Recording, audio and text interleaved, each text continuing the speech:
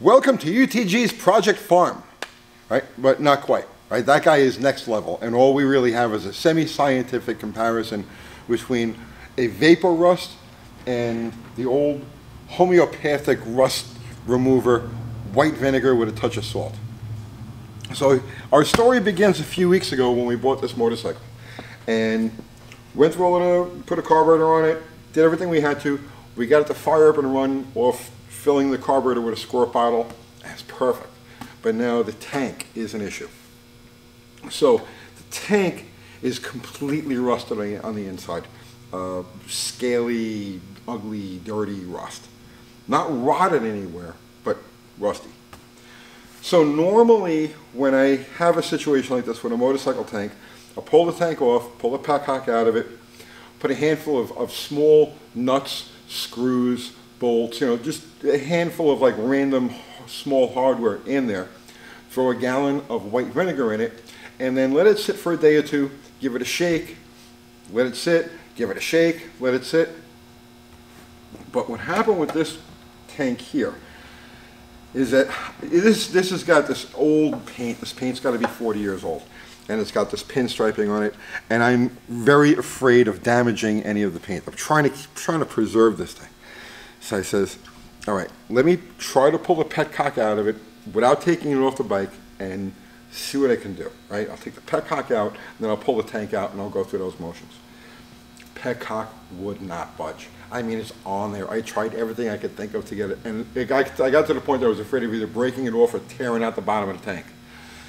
He says, leave it. And then miraculously enough, the petcock itself isn't clogged. I don't know how that is, but the petcock isn't clogged. It, it flows freely. So what do I do now, right? I can't use a sealer, you know, like, like Kreem or anything like that. The petcock would have to come out to do that. Is I'll just go with my old standby with the, the white vinegar and I won't put the nuts and bolts in there. I'll just leave it, let it slosh. And if you let it sit long enough with the white vinegar, it will eat the rust. Then you can flush it out. And then he says, well, you know, let's try something, let's, let's try something a little bit more professional on this, right? Because I don't want to go with POR 15, especially since I can't take the tank out. I don't really want to, or the petcock out, and I don't really want to encapsulate the rust. I want the rust gone. So I says, let me try a vapor rust. All right, okay, by the name, by the very name, it's going to evaporate the rust. So I says, you know what? It's worth the investment. I run over to Harbor Freight, $30 for a gallon, $31 with tax. It's a lot of money for something like this, but I figure, you know what, the bike is worth the investment. So he says, all right, let's give this a shot. So I went, I bought a gallon of this stuff. I said, let this thing evaporate my rust. I pour it in the tank, and for the next two days, I, I, I let it sit, slosh, let it sit, slosh, let it sit, slosh, drain it out, pour it back in. I mean, I did everything I could to, to try to get this thing to work. But as I'm looking in the tank, I don't see the rust diminishing any. It, it just doesn't change. And here's the cap. So you can see that I had left this sitting upside down like this for a day, filled with the vapor rust, and, and you see it really didn't make any difference at all. And the same thing if you look inside the tank, it's still as rusty as ever. So he says, all right, I got to try, forget this vapor rust, I got to try the white vinegar. But I said, well, before that, wait, this is something that might interest the viewers.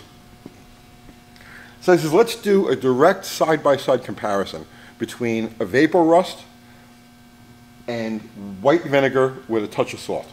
And that's what we've got here.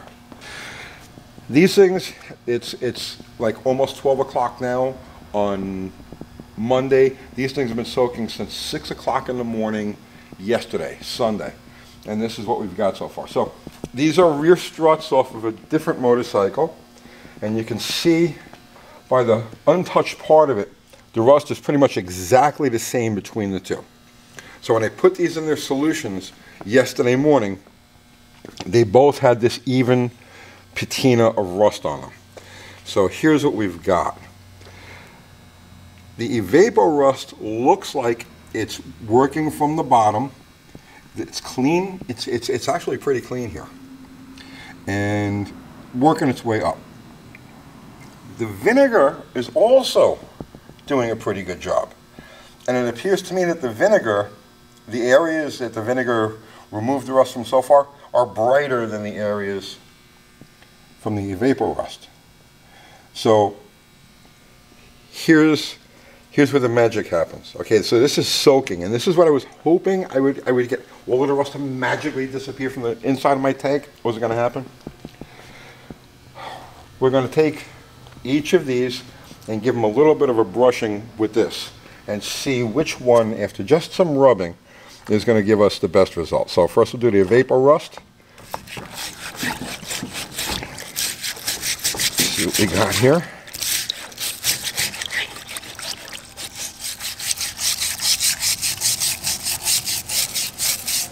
Okay, I'm going to say that that's actually pretty nice. That's actually really nice. All right, so the rust didn't quite evaporate, but it came off pretty easily. All right, so now let's try this with the vinegar.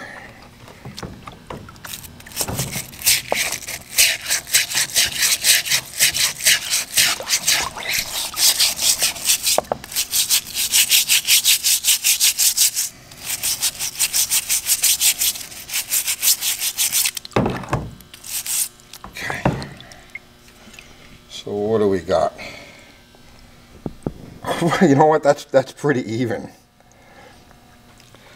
And yeah, clearly the vapor rust did a better job than the white vinegar, but really not that much. I have a feeling if these sat for another, the, the, this is about as rust free as that's going to get. I have a feeling if this sat for another 10 hours, 12 hours, this would probably look exactly like this does. Both did a fairly good job. And you can see by the patina on the rest of the strut, now these things were even going in. Right? They were pretty much as exact as I can get them. Now, the vapor rust did a better job here. For some reason, it didn't do anything in the tank, but it did a pretty good job here. But is it worth the price? So this was $31. I know you can get it cheaper through Amazon, but then there's shipping and all of that. This was the, the Harbor Freight price was like $29 and then tax was like 31 and change. And then this is just from any supermarket. I got this at Publix. It's $2.80 and then probably used another 20 or 30 cents worth of salt to make the solution. What I did notice is that one, one of the downsides of the vapor rust is any place where it splashed, it left a gummy film. Now it says that it doesn't, it, it doesn't damage paint, it doesn't damage plastic or anything like that. And okay, I'll go along with that, but every place, you can see my footprints, every place I was, it left a gummy film. Like, I mean, a seriously gummy film, where you don't get that at all from the vinegar. So if by some chance you splash it around as you're going about your business, you're going to have to do some serious cleanup afterwards. But again, I know that it, it says it doesn't harm plastic, paint, vinyl, anything like that, and, and I'll go along with it. But like I said, it does leave a film. And I don't know if I want that film in my gas tank for any amount of time. So for my money in the future, you know, I will definitely stick with my old standby vinegar, white vinegar, and the salt. I know you do YouTube long enough and you've got a psychic sense for the comments, and I already see you guys, what about molasses? What about electrolysis? What about blah, blah, blah? And there's, there's, so many different methods of rust remover. I just wanted to do a side by side by something that I tried and mm, not crazy with the results and something I've always used. And there it is, side by side. I hope you got something out of that. Now, fill my tank with gas and go for a ride. And I'll see you tomorrow.